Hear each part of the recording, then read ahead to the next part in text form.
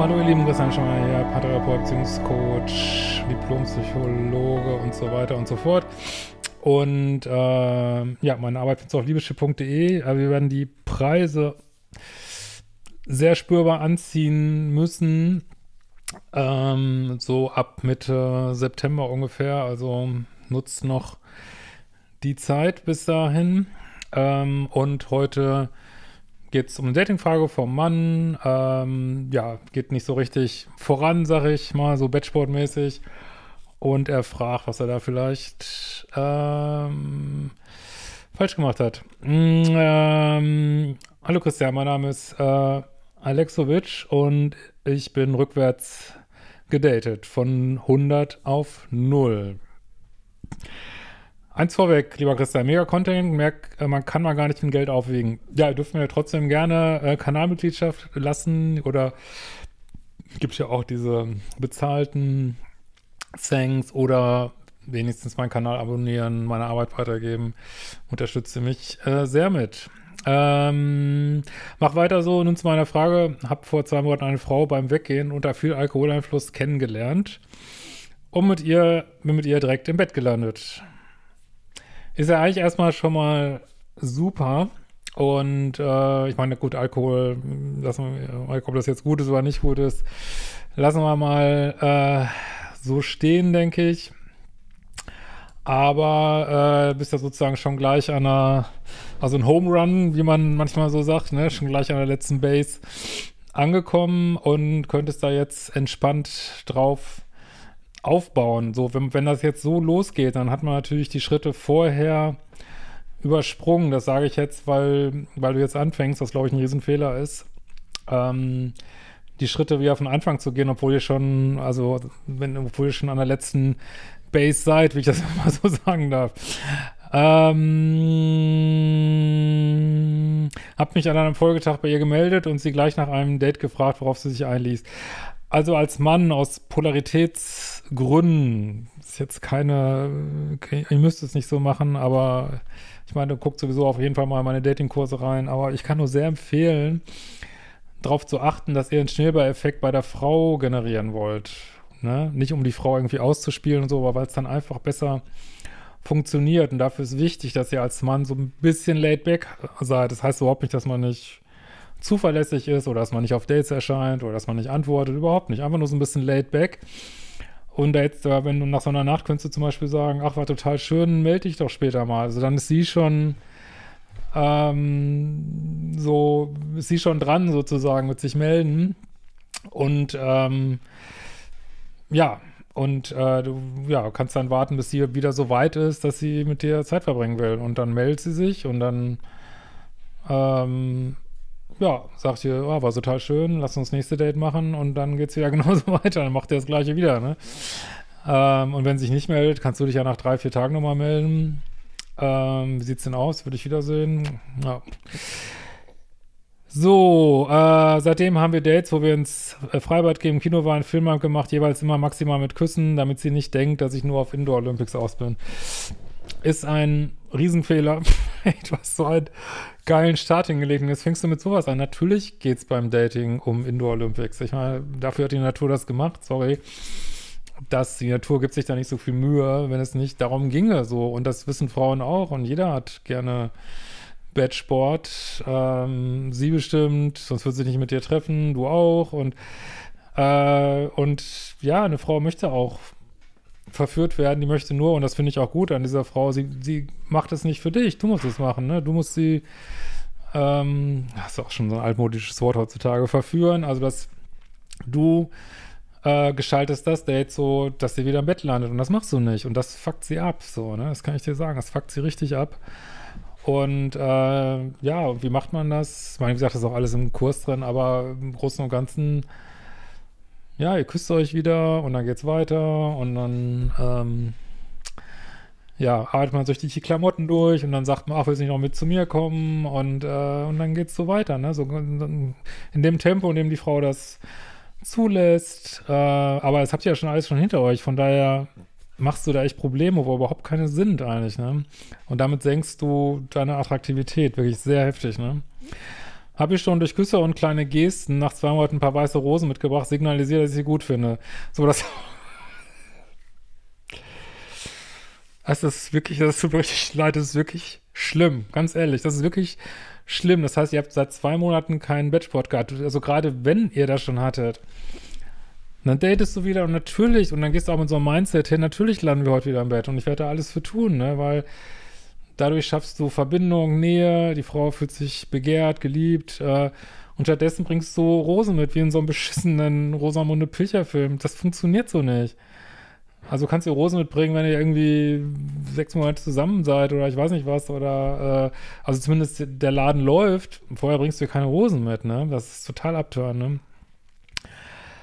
Äh, wir haben uns maximal drei bis vier Nachrichten pro Tag geschrieben, alle drei Tage mal telefoniert und uns von Date zu Date geangelt.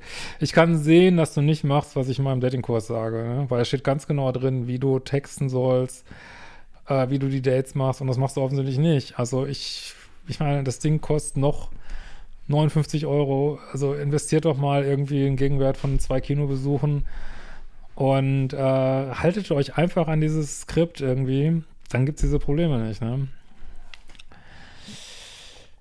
Ja. Äh, es waren noch mal 2,5 Wochen urlaubsbedingte Datingpause dazwischen, wo wir trotzdem normal geschrieben und telefoniert haben. So, was macht das jetzt mit der Frau? Die Frau denkt, du willst nichts von ihr. Die denkt, äh, und selbst wenn sie das denkt, denkt sie, irgendwie ist das wie eine Freundschaft. Und wenn du eine Frau nicht genug polarisierst und du nicht irgendwie, ähm, weiß ich nicht, irgendwann berühmter männlicher Schauspieler bist oder ich weiß nicht was, äh, und du nicht äh, sozusagen eine 10 plus bei ihr bist, dann wird sie dich in die Freundschaftsecke stecken. Das machen alle Frauen so, ne? Eieieiei. Ich habe diesmal bewusst das Gas rausgenommen, wollte vielleicht nicht niedriger kommen. Macht einfach genau das, was in meinem Kurs drin ist. Ganz stur. äh, das ist immer eine Sache, die mich so quält. Also ich kann ja verstehen, dass nicht jeder meine äußerst günstigen Online-Kurse kaufen will, aus welchen Gründen auch immer. Aber ähm, also auch selbst wenn man die macht oder selbst wenn man nur die Videos guckt, stelle ich immer wieder fest, dass Leute, auch welche, die mir lange folgen, dass die einfach nicht das machen, was ich sage und dann sich wundern, dass sie keine Fortschritte erzielen, so, ne? Also ihr müsst wirklich, das ist ja wirklich total runtergebrochen bei mir auf ganz wenige Sachen, dass es wirklich leicht zu verstehen ist. Aber man muss es auch tun, ne? Also wenn jetzt jemand sagt, ich komme über meinen Ex nicht hinweg, aber du bist nicht auf Null Kontakt, da funktioniert es halt nicht so, ne? Ähm, sie war auch leicht im Minus, ja, aber da treibst du sie jetzt rein, ne? Muss ich ganz klar sagen, ne? Und hat es auch entspannt angelassen. Nun zur Frage, sollte man beim Dating nach einem One-Night-Stand anders vorgehen als Mann? Ja, natürlich, du bist ja schon am Ziel gewesen, ne?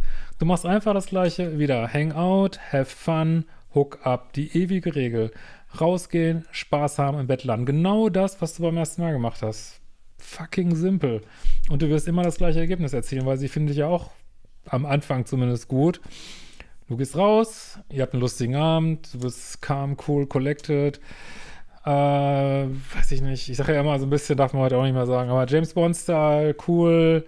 Du weißt genau, wie der Abend ausgeht, das ist dein Mindset.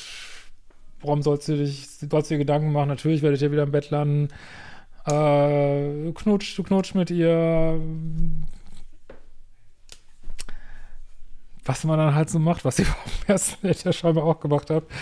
Äh, man wird ein bisschen horny, es geht weiter, man geht nach Hause und landet im Bett, fertig. Aber nicht weiße Rosen und bloß, bloß nicht zu viel, irgendwie so. Das ist sonst, äh, also weiße Rosen würde ich nie machen, aber vor allem weiße, ey, also keine Ahnung, ist das, weiß nicht, was das für eine Idee ist. Aber langsam angehen lassen, wenn man noch gar nicht äh, an der vierten Base war, irgendwie, okay. Aber so äh, weiß ich beim besten Willen nicht, was das bringen soll, irgendwie, ne? Wie, wie soll man das mal vergleichen? Das ist. Ja.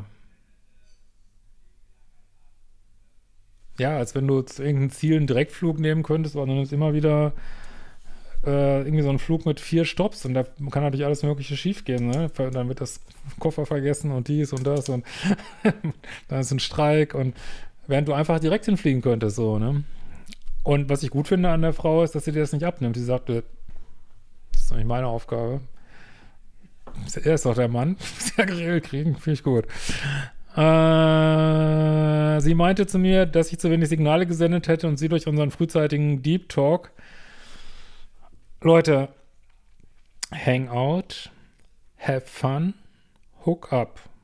Klingt im Englischen immer so schön. Rausgehen, Spaß haben, körperlich werden. Ganz einfach. Wo steht da Hangout, have extended uh, Deep Talk über die Welt und politische Lage und uh, Genderpolitik und ich weiß nicht was. Uh, have Fun fällt aus und dann kommt Hook Up. Nein, das wird nicht, das wird nicht passieren so, ne? Eher an eine Freundschaft als an etwas sexuell Anziehendes gedacht hat. Man muss doch dazu sagen, dass sie aktuell wieder einen Schub in Bezug auf äh, Panikattacken bekommen hat und gesundheitlich auch eine, einige Baustellen hat. Spielt überhaupt keine Rolle mal an sie nach. Ist einfach eine ganz normale Frau und ja, sie hat auch noch irgendwelche Mental Health Issues. Äh, mal ganz ehrlich, wer hat die heutzutage nicht? Äh, ist ja auch nicht deine Baustelle, das muss sie sich drum kümmern. Du datest sie ja erstmal. Jetzt fang nicht an so mit weißer Ritter und ich ja, ich helfe jetzt erstmal mit ihren Mental Health Problemen. Nee, erstmal willst du sie daten, das wollte sie auch. Und du bist am Weg jetzt so, ne? Also ich kann dir nur raten, wenn du überhaupt nochmal wieder eine Chance kriegst, dass du dann äh, jetzt kann sein, dass es jetzt viel schwieriger wird, ne? Aber dass du sie polarisierst,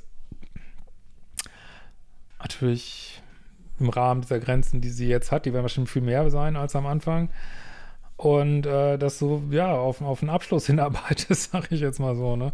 Weil das fuckt sie total ab, mit Recht, ne? Äh, war das Kennenlernen zu viel zum falschen Zeitpunkt? Nee. Es war einfach zu wenig zum falschen Zeitpunkt. Oder habe ich in ihr einfach nichts ausgelöst? Ja, das kann nicht sein, weil ihr seid ja in der Kiste gelandet. Ich bin ein sehr selbstreflektierter Mensch, aber ich habe das Gefühl, dass ich bei Frauen keinen gesunden Mittelweg aus Plus und Minus finde. Es ist kein Plus-Minus-Problem, das ist einfach, du bist einfach nicht in deiner Polarität und du denkst wahrscheinlich zu viel nach, anstatt dass du einfach machst. Ne? Sollst du auf diese Nachricht antworten, würde ich mich brachial sehr freuen. Ja, ich hoffe, freust du jetzt immer noch brachial nach dieser kleinen Kopfwäsche, aber ich will dir ja nur helfen, weil das ist wirklich total frustrierend, ey. Dann warst du schon so weit und dann machst du das, was wie so ein Rosamunde Pilche-Film. Mach, Leute, macht das nicht, macht das nicht, wirklich. Aber ich schreibe mal ein neues Buch drüber. In diesem Sinne, wir sehen uns bald wieder.